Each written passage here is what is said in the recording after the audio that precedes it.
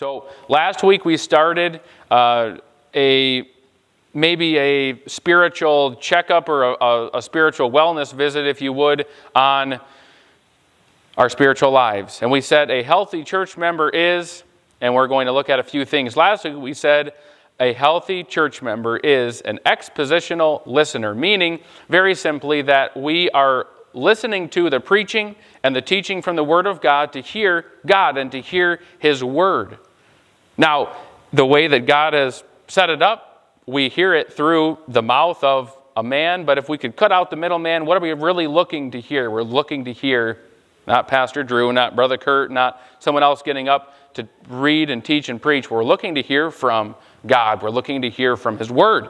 So, a healthy church member is an expositional listener. And expositional listening is simply listening for the meaning of a passage of Scripture and then accepting that meaning as the main idea that is to be applied to my life as a Christian, both privately and corporately.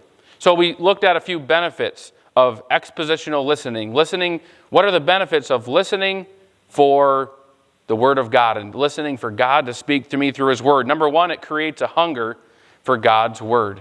The only way that you really kind of grow in your excitement or enthusiasm for anything is to just surround yourself with that. Uh, I was talking to Grandma this morning, and uh, I said, Well, the snow's coming down, it's starting to look like winter. And she said, It is, but I don't mind it. And I said, I don't either, because it means that a different season is changing. And for me as an outdoorsman, there's really, I don't have an off season. I really enjoy hunting season, and I enjoy that part. But then when deer season's over, then the generally the lakes are covered with ice and I can get out and go ice fishing. And I love ice fishing season. And then when that's done, then uh, the, the snow melts and then uh, it becomes open water season again. And there's always something to do. And I was telling her every season that we get into, whether it's ice fishing season, hunting season, uh, open water season, I always think, well, open water season, that's, that's my favorite. That's my favorite thing. Out of all the outdoors, I really like fishing in a boat. But then when hunting season comes around, I think, oh man, I, I think this is my favorite. I really like hunting. I, I love getting out on October 1st with the bow in my hand. But then ice fishing season comes around and you get the auger packed up and, and uh, you get everything all set. And man, I love ice fishing. Why, well, the reason I get so fired up about those different seasons is that's what I'm doing, that's what I'm thinking about, that's the gear that I'm preparing. And as I'm surrounding myself with those things, that's what I get excited about. And then you say, well, I don't really know how I get excited about God and His Word. Try reading His Word. Surround yourself with it. Go to church, and you will become more and more excited about God and His Word when you surround yourself with God and His Word. So, one of the benefits of expositional listening is that it gives me a hunger for God's Word. It helps me focus on God's will. My agenda is pushed to the side, and God's will becomes the main focus. It, it uh, protects my life from corruption. How do I keep from the devil and the world infiltrating my mind? Sanctify them through thy truth. Thy word is truth. It encourages the pastor. I love preaching to all types of crowds, all ages. Uh, sometimes I even preach to air when I'm maybe going over reading a passage of scripture, especially when there's different names that I struggle with, and I'll just read it aloud like I'm preaching it in my office. Uh, but I enjoy more when I'm preaching to a crowd of people who are engaged. If everyone's just on their phone looking out the window, it, uh, it's not very encouraging. You're thinking, man, am I missing the mark here? What, what's going on? So, listening to God and His Word through the preacher, it encourages the pastor and it strengthens the unity of the gathered body. How do I make expositional listening a habit? How do I come and sit down in church, even if, let's say, I did something to you, or Brother Kurt did something to you this week that just irked you? You know, maybe uh, uh, Kurt uh, took the last piece of pie at Thanksgiving, and uh, you're just, man, uh, what a bum. I'm not going to come to Sunday school because I'm not going to watch that pie thief, uh, you know, teach me through his word. How can you push all that aside? In a more serious note, how can my brothers and my parents and my grandparents sit and listen to me? They, you know, they know all my, well, you all, I'm pretty, pretty much an open book. You all know where I'm at, right? So, how can you sit and listen? How do you make it a habit to listen to God and His Word? Number one, we meditate on the passage before the sermon. I had a few people ask me this week, uh, well, what are you going to be preaching on uh, this coming this coming week. And I know that was because they wanted to read and, and study and, and be prepared to hear. You can read the scripture along with a commentary to get a better understanding. You can talk about the sermon after church. You can listen and act on the sermon throughout the week. Uh, don't just say, well, that was a great message, and then just continue on the same. Maybe apply that message to your life. How do I make it a habit of listening for God and His Word through the preaching or the Word of God? Ask questions about the text. If you get to something that you don't understand, ask, How do you think I learn? Just because I have all knowledge and wisdom of all things Bible and I know everything in my vast uh, amount of Bible study in my 29 years on this earth. No. I ask, I look, I study. And lastly, be humble. Don't become a professional sermon listener thinking, oh boy, he missed a point here. Oh, he misspoke. Oh, he split two infinitives and uh, ended 57 uh, sentences and prepositions. Uh, don't become a professional sermon listener. Allow God to speak through his man and to you through his word. So, a healthy church member, number two, this morning is a biblical theologian a biblical theologian. We're going to look at what is Bible theology, how does it benefit me, and how can I make it a habit? What is Bible theology? That sounds kind of deep, dark, and dry. It's simply the study uh, of the nature of God and religious beliefs. That's it. The study of God and who He is. It's thinking about God and then systematically developing those thoughts through study. That's all it is. It's just thinking about, meditating on, studying God in an organized way so that we can understand God, His Word, His truths, and His principles. Our first and most basic calling as a Christian, as a believer, is to, uh, is to know God. 1 Chronicles chapter 16, verse 11 Seek the Lord and His strength, seek, seek His face continually. Amos chapter 5, verse 4 For thus saith the Lord unto the house of Israel, Seek ye me, and ye shall live. Psalm 27, verse 8 When thou saidst, Seek my face, my heart said unto thee, Thy face, Lord, will I seek. We're supposed to know God. Philippians chapter 3, verse 10 in the New Testament, that I may know him and the power of his resurrection and the fellowship of his sufferings being made conformable unto his death. We ought to know God. 2 Peter chapter 3 verse 18 you're there the apostle Peter ends his letter with this thought but grow in grace and grow in the knowledge of our Lord and Savior Jesus Christ. To him be glory both now and forever. Amen. We ought to know God. Ignorance of God, both of his ways and our communication with him, lies at the root of the church's weakness today. You say, Well, I know God. I know God. This message is not for me. I'm a biblical theologian. I know God. But yet, so many believers can't answer basic Bible questions about God. If I said, I need you to give me one verse in the next five minutes proving that God is a Trinity, or proving that Jesus Christ is the only way to heaven, or proving that there is that Jesus was virgin born. Some of you would think, oh my goodness. Hey Google, verses about Jesus Christ being the only.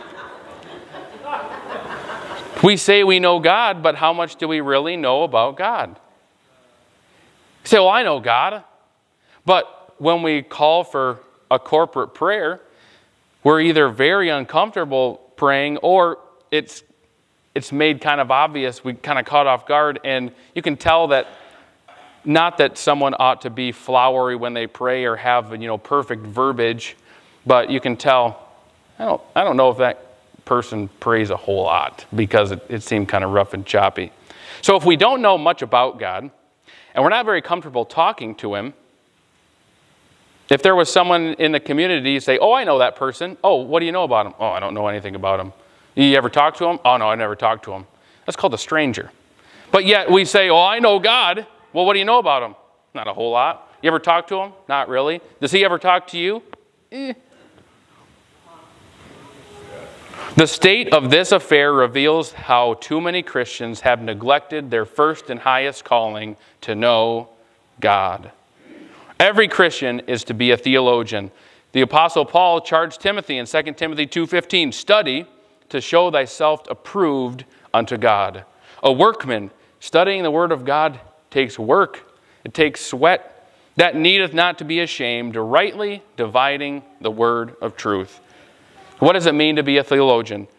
Why do I need to study God's Word? Number one, to be a theologian is to know God Himself. Well, how do I know God? Through His Word. The Bible is the revelation of God. The Bible is the revelation of God. John chapter 1, verse 1 In the beginning was the Word, and the Word was with God, and the Word was God. How do we know about God? Well, from, you know, Dr. Big Bottom, oh, we saw in Sunday school, Dr. Curtis Q. Rogers, apparently. He's going to be the one who teaches us about God. Probably not. Where are we going to learn about who God is? You're not going to learn Him completely from me because there's a whole lot about God that I don't know, that I don't understand. Right here from the revelation that he gave us about himself. A Christian who wants to know God is a Christian who first wants to know what God says about himself. We should never begin a sentence, well, I like to think of God as. A healthy Christian is committed to what the Bible says about God because the Bible is where God tells us about himself. So, what is a biblical theologian? In number one, it is to know God Himself. Number two, to be a theologian is to know the entire Bible.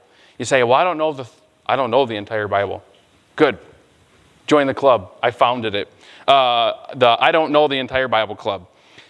A healthy church member gives himself to understanding the unity and the progression of the Bible as a whole. You could ask a pastor who's been pastoring for 40 or 50 years, ask Pastor Williams, Pastor, do you know the whole Bible? He would tell you, he probably is further behind than we thought he was when he started. Uh, the more I've, I have given uh, a lot of time, more time than I ever had before, this year than last year, the year before that, to studying God's Word. And I was literally thinking this morning as I was highlighting out the message and thinking, I have so much work to do. I know less today than I knew yesterday, and uh, there's just so much. We could study a lifetime and not even scratch the surface of God's Word because it's alive, it's powerful, it's His Word. But we ought to not memorize the entire Bible or have it just stuffed in there for knowledge sake, but understand when I say you know the entire Bible, to understand that it's, it's all connected together. It's not 66 individual books, it's not the Old Law and the New Testament. It all is in unity and in unison telling us the same thing. You can pull out a few isolated verses and take them out of context, and you can make the Bible say just about whatever you want. We did that yesterday, kind of, or last Sunday, as a little bit of an example. So it's important that we not just pull out isolated passages or say, "Oh, I like this." Ooh, I don't like this. Uh, I'm not going to do that. I'm not going to read that. I'm going to pretend I didn't see that. Uh, like uh, those of you who watch Hogan Heroes, like Hogan's Heroes, like Sergeant Schultz. I know nothing. I don't. I never. I didn't see that. Right. That's buffet Christianity. That's saying, oh, I like this. Ooh, I love me some mashed potatoes. Ooh, clams. Ah, ah. I don't like that. I don't like having to go to all the services. We're going to leave those there. Oh, here we go. Prayer. I can pray. I like that. Oh, confrontational soul winning. I don't want to have to share the gospel. I'm going to leave that deviled egg alone. Let's move down and see what else is there. Oh, God's grace. I'll take a slice of pie. All right. That's not how it works. That's buffet Christianity. When we look at the Bible as one awesome story of God redeeming for himself a people for his own glory, we see it in that story a redeeming God, a creating God, a holy God, a faithful God, a loving God, a sovereign God who makes and keeps promises to his people from Adam all the way to the consummation of the world and its end. That is what it is to be a biblical theologian. To know God and to know the entire Bible together. So, how does it benefit me? Why should I convince me why I should study God's Word? Number one, it grows my reverence for God. The more that I learn about God, the more I want to learn about God. The more that I learn about God, the more I realize who He is and what He's done for me, what He's saved me from, what He's bringing me to, the more I want to learn about Him. The more I understand Scripture, the more I realize that God truly is working all the time, all things for my good, beginning with the promise that He made. Flip back to Genesis, chapter, flip to Genesis, beginning all the way back to Eve in the garden. God is working all things for my good, and this helps grow my reverence, my respect, my awe for who He is. Why should I be a biblical theologian? Why should I study the Word of God? Because it helps me respect who He is. Genesis chapter 3, verse 15. Eve's taken the fruit, gave it to her husband. They hid. God said, Hey, Adam, where are you? They find out that they've sinned. They took the fruit, they ate of the tree that they weren't supposed to eat of. Eve Adam blamed the woman, the woman blamed the, serpent. God immediately begins creating redemption's plan. God is holy, He's just, and He laid out what the consequence of the disobedience was going to be. But then immediately, what did he begin to do? He just began to just beat them over the head. I can't believe I gave you all this. I gave you all these good things. I gave you all these trees. I gave you the woman. I gave you all this, all these animals, all my creation. And, and he just began to browbeat them for being so dumb for messing up. No, he immediately put into effect redemption's plan. Chapter 3, verse 15 of Genesis. And I will put enmity between thee and the woman. He's talking to Satan, the serpent and between thy seed and her seed. Her seed there is referring to Jesus Christ. And it shall bruise thy head, and thou shalt bruise his heel. Here in Genesis chapter 3, third chapter of the Word of God, God is putting into place that Jesus Christ is going to come and redeem us back to himself. And when I understand that, when I understand as I study his word that the word of God is redemption story from start to finish, that gives me awe and respect for who He is. When I see that God immediately promised a way for me to be reconciled back to Him, I understand that He always has been, is, and always will be that same creating, holy, faithful, loving, and sovereign God. Knowing this, how can I be angry with Him? How could I question Him? How could I become to a place where I'm, i think ill of him. I can't stand God. Get out of my life, God. You're never going to outrun him. You're never going to get away from him. But sometimes we feel as such. But when I study God's word, it helps me understand who he is and it helps grow that reverence and respect for God. Why be a biblical theologian? Number two, it helps me overcome my wrong ideas. Remember as a kid, sometimes uh, we would tell dad would be like why, why, did you do this? We'd be in a, a pickle or a situation. And uh, we'd say well i thought he'd say stop you right there. There's the problem. It, you thought. It's that stinking thinking. It'll get you in trouble all the time. Sometimes i do some stinking thinking and i cook up some, some just ideas that don't fit god's word. But as i study the word of god it helps overcome my wrong ideas. We all encounter biblical verses and teaching that we don't like that we don't that either challenge us or confuse us. Sometimes we refuse to accept that teaching because of sin in our own life. Sometimes we avoid verses because it doesn't seem easy or fun or it challenges an area of our, in our life as sin. But when we give ourselves to total Bible study, we will be more readily convicted of our wrong ideas and we will see how God has really spoken the same message from beginning to end. God isn't picking on us. He's not a boogeyman thinking, all right, I'm going to cook up something just to make Dave Lundeen have a miserable life. God has been the same God yesterday, today, and forever. He's been preaching the same message forever. Hebrews chapter 1, verse 1 God, who at sundry times and divers manners spake in times past unto the fathers by the prophets, hath in these last days spoken unto us by his Son. God hasn't changed. He's not making it harder on us. He's not.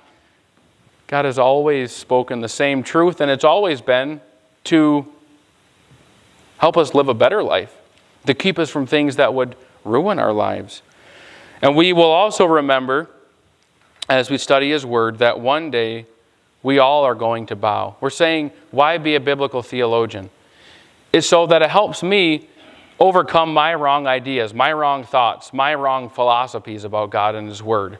When we study the Word of God, we see over and over and over again that God is bringing everyone to Himself. He's bringing the entire universe and all of creation to a climax and a conclusion where every knee is going to bow and every tongue is going to confess. Isaiah chapter 45, verse 22 Look unto me and be saved, all the ends of the earth, for I am God and there is none else. I have sworn by myself, the word has gone out of my mouth in righteousness and shall not return, that unto me every knee shall bow and every tongue shall swear. Surely shall one say, In the Lord have I righteousness and strength. Even to him shall men come, and all that are incensed against him shall be ashamed.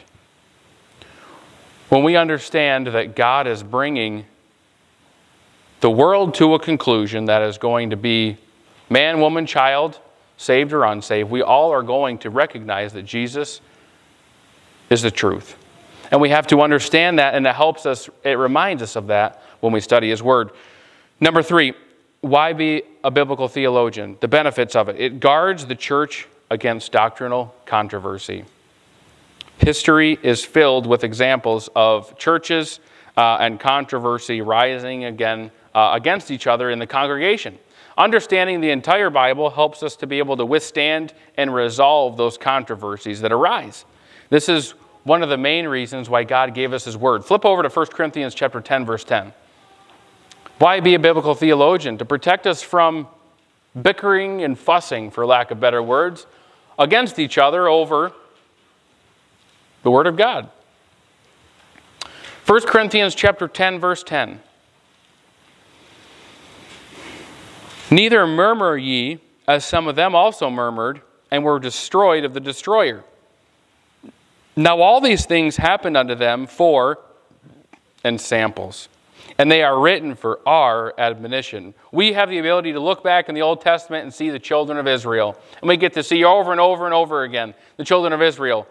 God provides for them in a miraculous way, and then they start complaining and whining, and then God does something else to bring them back where they need to be.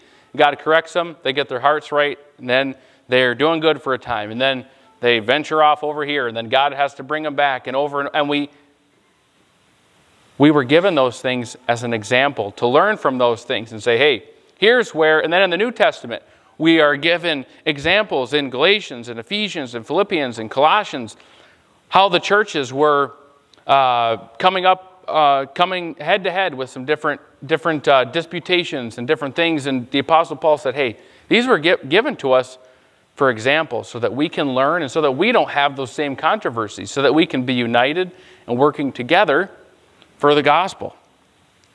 Why be a biblical theologian? Number four, it's necessary for filling the Great Commission. Flip over to Matthew 28. You're there in the New Testament. Matthew chapter 28, this is a very common passage, quoted often. In fact, this verse here was uh, given in the, in the Sunday school lesson. Matthew chapter 28, verse 20. Part of the Great Commission, of course, is sharing the gospel. That's the first step, is to go and to win. But then we're supposed to teach. Teaching them to observe all things whatsoever I have commanded you. Well, what, what did Jesus teach us? What did he command us? Right here, his word. You cannot teach something that you first don't know yourself. I've seen people try, but it doesn't work very well. You have to know something first to be able to teach it. I could not teach you how to rebuild a transmission because I have never done that and I have no idea how to do it. So if you said, hey, how do you rebuild a tranny? I said, I don't know. If you find out, let me know. Uh, you have to know something in order to teach it. So we cannot fully fulfill the Great Commission if we don't first know the Word of God and then are able to teach it to those who we win and baptize.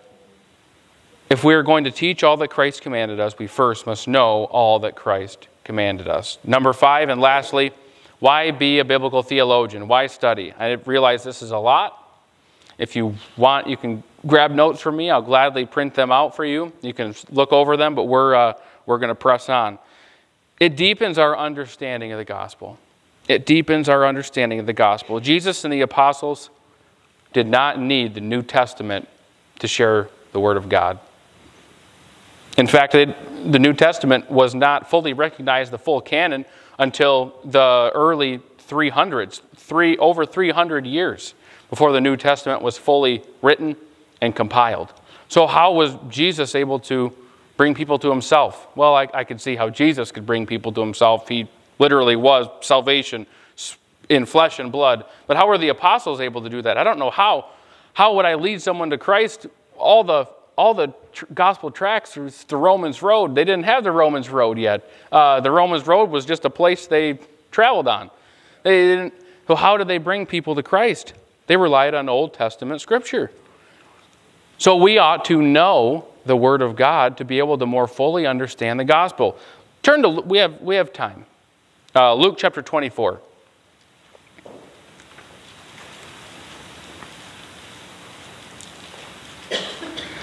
This is probably the passage of Scripture that spoke to me the most in this entire study on why I ought to be a, Bible theologian.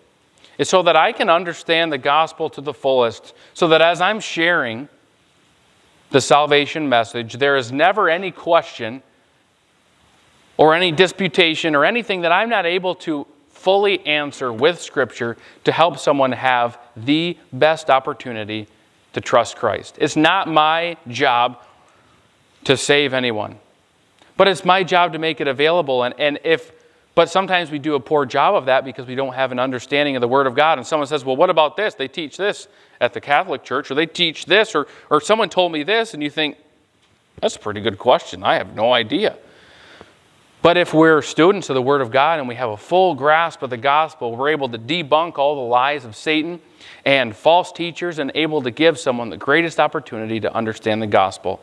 Luke chapter 24, verse 27 And beginning at Moses and all the prophets, he expounded unto them in all scriptures the things concerning himself. Skip down to verse 44. and he said unto them, These are the words which I spake unto you while I was yet with you. That all things must be fulfilled which were written in the law of Moses and in the prophets and in the Psalms concerning me. Then he opened, opened he their understanding that they might understand the scriptures. So here's a promise not only ought we to read and study not just the New Testament, but the Old Testament, the law and the prophets God's going to open our mind of understanding. The Holy Spirit is going to teach us and give us understanding to say, How are you able to read and study the Word of God and come up with all these things? How do you get all that out of one little verse? I don't know. The Holy Spirit reveals, He's the one who teaches. You have the same God living inside of you that I do inside of me, and He'll teach you just as well as He'll teach me. A biblical theologian masters the unity of the Old and New Testament scripture and sees Christ and the gospel throughout. The Old Testament simply is just an arrow that's pointing to the cross, pointing backwards. The New Testament is simply just an arrow pointing to the cross, it was just pointing forward. The, both given in different points in history, but both pointing to the very instance in history of Jesus Christ. So, how do I become a biblical theologian? Here's the how to. Here's the how to make it a habit in very fiercely practical way. Number one, read a good book on theology. And uh, here's a couple that I would suggest as far as um, men who I know, as far as their commentaries, uh, wouldn't lead you astray. Uh, John Phillips has a good um, commentary on all Scripture. And this is just um, maybe commentary suggestions as far as studying out the word either thematically or um, expository. expository. Um, J. Vernon McGee is another pretty safe commentary. Um, Matthew Henry. And then um, if you have a Scofield Bible, if you wanted to do just the most basic, say I, I, having the Word of God open and then another book open, that seems kind of already just kind of overwhelms my mind. a Scofield Reference Bible with the center uh, column that just has how many of you have a Bible like that where it has like each word or maybe a verse will have A, B, C, then you look in the center and it'll it'll give you if you were just to kind of read those and study, that would just be an incredible that opens up your mind and and it'll take you different places. Like when I was preaching out of 1 Samuel, um, I read out of this Bible because it doesn't have any commentary, it doesn't have any notes, simply for the fact that I don't want to be distracted. Uh, but then when I am looking to maybe dig deeper, once I get a general idea of the passage, then I'll open up my Scofield Bible and I'll study through that. Then I'll grab a couple other commentaries and even look deeper just to get a couple different angles on the same passage. Those are a couple that I would suggest, and I just said this ask someone that you trust spiritually before choosing books on theology and doctrine. I was recently reading a book and studying, and there's there was a couple little words in there um, that I just thought, oh, wow, this was a really, really biblical book. I'm a couple hundred pages in, but on salvation, uh, they were talking about perseverance of the saints, which would have been obviously um, false for salvation. So I'm careful what I recommend to people to study and read, and obviously uh, use a grain of salt. As I mentioned yes, uh, last week, every commentary is just that it's another man's comments on the Word of God, and the, the Bible is always right and man, if, if, there's ever a conflict between man and the Bible, man's right or wrong 100% of the time. Bible is right 100% of the time. All right. Number two, study Scripture thematically, meaning by themes. So we ought to spend most of our time just reading passages of Scripture. Uh, that keeps us from taking verses out of context. When you start studying either themes or names of God or maybe studying grace, that's where you're going to come up with some of those well, that doesn't really make sense, or these two verses seem to contra- contradict themselves. God is a spirit. Those that, must, that worship him must worship him in spirit and in truth. A couple verses later, no man has seen the face of God at any time. God's a spirit. How does he have a face? How does he have hands? How does he have a heart? And so be careful when studying themes through the Bible because that's where you can get caught up uh, and confused. Uh, but again, if you have any questions, ask. But study themes, and that will pique your interest and it'll help you learn leaps and bounds. Number three, read the New Testament with the Old Testament in mind. Ask yourself these questions as you're reading the New Testament How is this verse in Matthew fulfilling something that was prophesied in the Old Testament? Ask yourself, how is this New Testament idea similar or different from Old Testament teaching? In what way does this New Testament passage either clarify or unveil or amplify something that's found in the Old Testament? Number four, the same thing is true.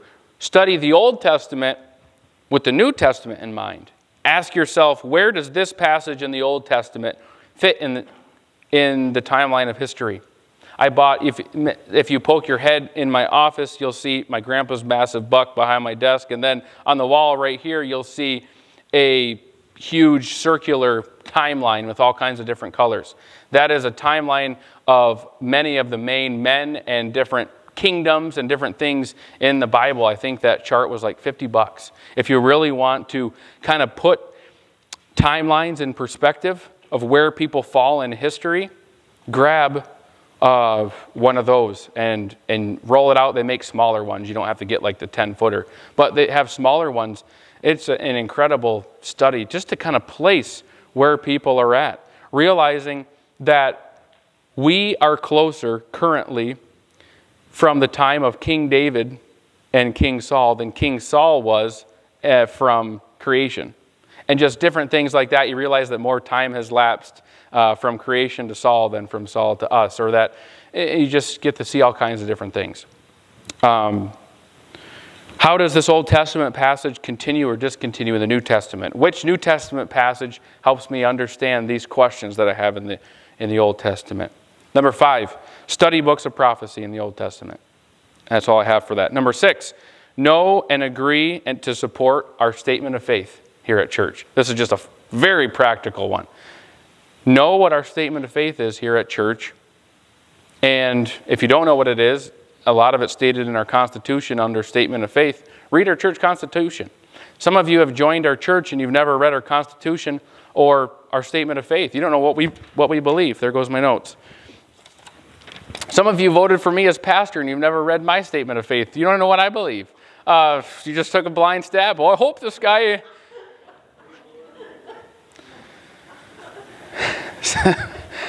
Lastly, seek doctrinal unity and avoid disputes. Pastor Williams said this, and I love it stand firm on doctrine, be flexible on preferences. Stand firm on doctrine, be flexible on preferences. There are some things in a spiritual manner that are worth fighting for. The gospel of Jesus Christ, by grace through faith, is something that's worth arguing about and worth fighting for. The Word of God. That's something worth fighting for. We're not looking to change it, we're not looking to bring in new versions.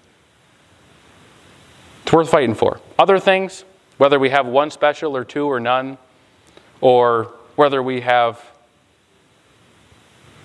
whatever, fellowship once a month or once a quarter, who cares? It's not a big deal. We can do whatever.